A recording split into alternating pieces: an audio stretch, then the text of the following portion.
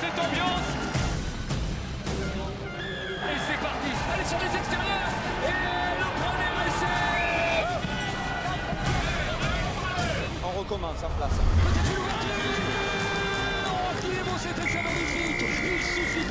Oh, Rugby Fédéral 1, vendredi 20h35, en direct sur la chaîne L'équipe.